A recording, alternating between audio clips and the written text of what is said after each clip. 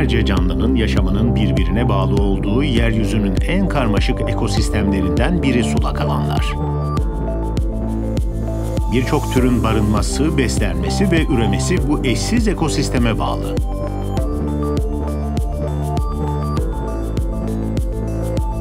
Orta Anadolu'da yer alan 10.700 hektar büyüklüğündeki Seyfe Gölü. Kırşehir yakınındaki Seyfe aslında gölden çok bir sulak alan görünümüne sahip. Seyfe Ovası kapalı havzasında yer alan göl, kaynakların, yağışların ve yüzey sularının tektonik bir çukurda toplanmasıyla oluşmuş.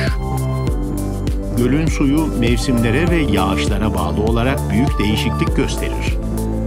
Yağışların bol olduğu dönemde bile gölün en derin yeri yaklaşık bir buçuk metre.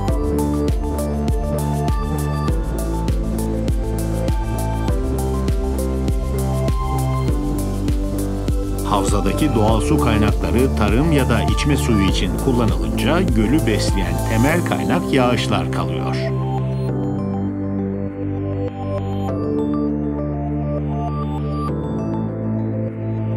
Küresel ısınma ve bozkırın aşırı sıcağı göl suyunu buharlaştırıyor. Yaz aylarında göl neredeyse kuruyor.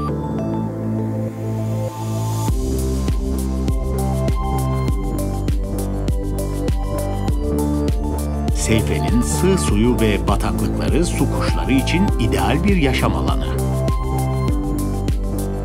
Avrupa-Asya üzerindeki dört kuş göç yolunun ikisi Türkiye'den geçiyor. Kuşların uğrak yerlerinden biri de Seyfe Gölü.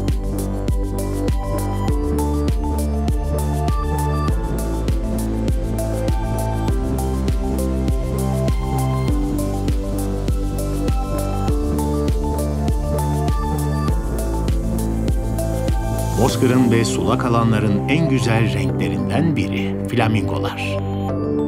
Suyu tuzlu ve sodyumlu olan göl, flamingolar ve ördek türleri için ideal bir beslenme alanı. Bu muhteşem canlılar gölü besleyen kaynağın tatlı suyundan içmek için bir araya geliyorlar. Bu kaynak kuşlar için hayati önem taşıyor.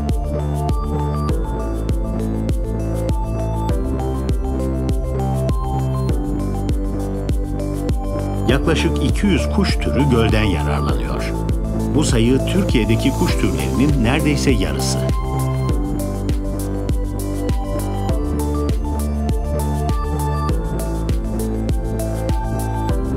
Su tüketimi artarken su kaynakları da azalıyor. Seyfe'ye su getiren kaynaklar kurursa göl de kuruyacak ve kuşlar başka yerlere göç edecek.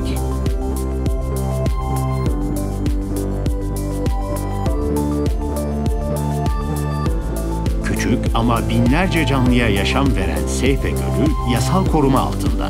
Tabiatı koruma alanı statüsüyle korunan göl, uluslararası Ramsar Sözleşmesi'ne dahil. Gölün yaşaması için havza çapında su planlaması şart.